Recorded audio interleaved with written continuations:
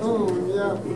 いや、それでも、あの、いろいろ調べたんです来ました佐野恵美子出てきた。サロンを一緒にやってる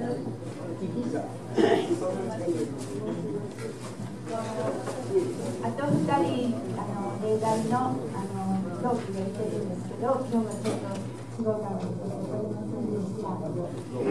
た今日は私たち34期年齢3人と生活科学維持をやっているサロンコスモスの一日を紹介したいと思います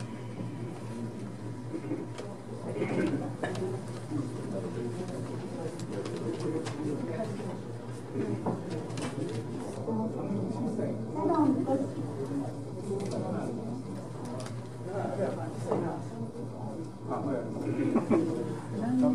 サロンコスモスは平成25年。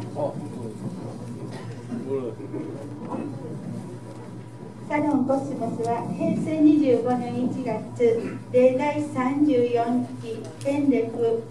生活科学の共同で課題学習として立ち上げました。立ち上げ時はあの権力5人と生活科学1名の6人で25年1月の最後の木曜日にあの立ち上げたのが最初ですで現在の現在のスタッフは4人になってます。成り立ちは地域の人たちと健康で楽しく対象者は地元の高齢者での一番高齢の方で87歳の方です。で毎月1回最後の週の木曜日に一応決まっています。朝10時からお昼を食べて1時半ぐらいに随時あの自分の都合に合わせて帰って行かれます。場所は中央会館で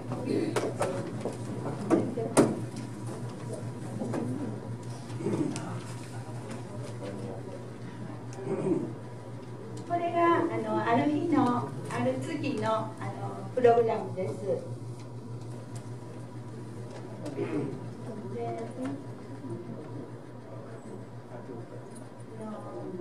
あのサロンの最初は30分ほどリコネシ推奨のあの本気体操というちょっと高齢者向けの健康体操になってるんですけどそれをする前にあのその根気体操を指導してくれくださる方があのお口の体操も必要やということでお口の体操をしてから根気体操に入りました。根気体操が30分ほどあのかかるんですけどもう毎月1回ですけどこの頃は皆さんもう暗記するように覚えておられて次から次へとされてます。あのパイプ椅子に座ってする体操なのであの高齢の方で足がちょっと不自由だなっていう方もあの参加していただいてます。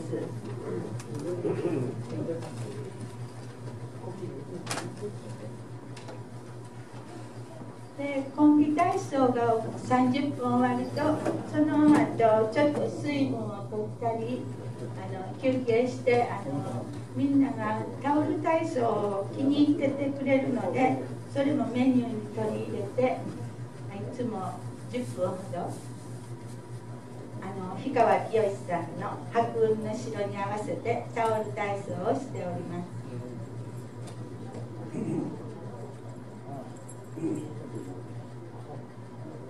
タオル体操が半ば終わりぐらいです。であの3番目のメニューが毎回変わるお楽しみであの例題の OB の方たちや地域の活動されてる方あのであの誰も来てもらえない時は私たち県レクがあの授業で習ったあのゲームとかあのいろんな体を少しずつ動かせるようなことをしてあの40分ほど時間を費やしてます。でその後はその時にあのボランティアで来ていただいたで第35期北音文化学科サンゴ座の紙芝居をしていただいてすごく好評でした。あの知らないこともあの地元のものが知らないことも多く紙芝居にされてるのであの皆さん喜んでてまた違うのも見たいというリクエストもありましたのでまたあの次回違う班の方にご協力をお願いしております。で33期生活科学学科三三吉部の会の方にも来ていただいてキャンティンサマスタル奏をしていただきました。でこの後皆さんに食事も一緒にして中に入って喋ってワイワイと帰っていただいたんですけどあのよそから来ていただいた方とお話できるのはあのすごく喜ばれるんです。自分たちが行けないから。だからあのすごい喜んでおられました。参加人たちが喜んで見てますで最後4番目がいつもみんなで声を出すのがいいって歌うのが好きなのであの季節の歌を歌ったりあのこう健康になるための歌を歌ったり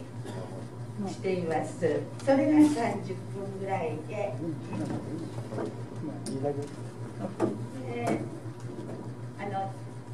時々あの市員の方からやっぱしこういうサロンをしてるのにアンケート健康体操をしてることについてアンケートをしてほしいとかって言われてみんなで頭を抱えないそんな難しいことではないんですけどあの記入したりしています。そしてこれが終わるといつもお昼なんですけどお昼は私たちスタッフ3人と地元の方にちょっとお手伝いしていただいてあの手作りであの健康推進員の方で習ったこととかを参考にあの作ったのを食べていますみんなで。の時はお漬物やらもどやって作るんやとか何をどんなに作るんやとか昔はこうやったとかみんなのお話が聞けて私たちも知らなかったこと多かったんやなと思いながらみんなで話をしながら呼ばれています。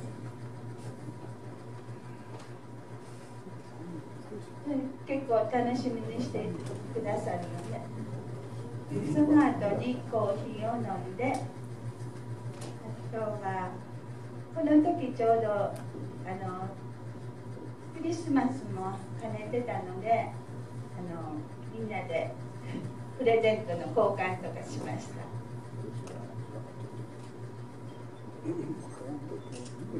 す。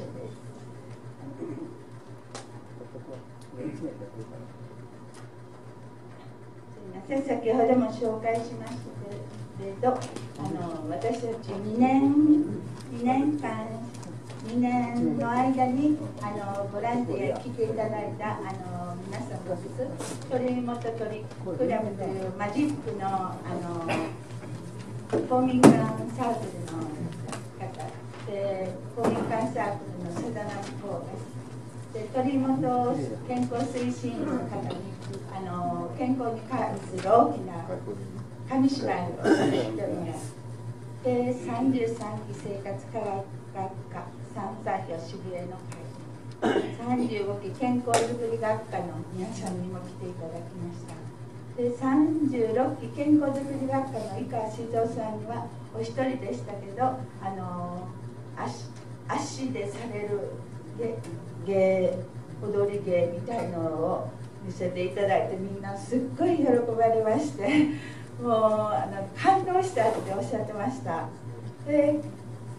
ついこの間あの35期北大文化学科産後座の皆さんにも紙芝居に来てあの地元の歴史やらを話していただいたのをすごく印象的に思っています。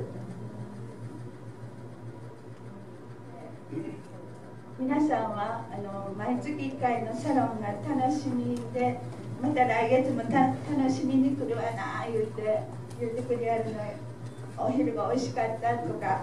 あのやっぱし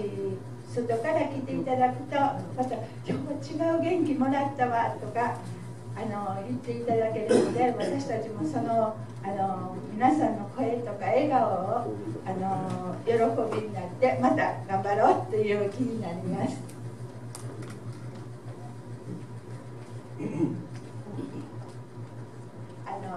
1日の発表はこれだけなんですけどあの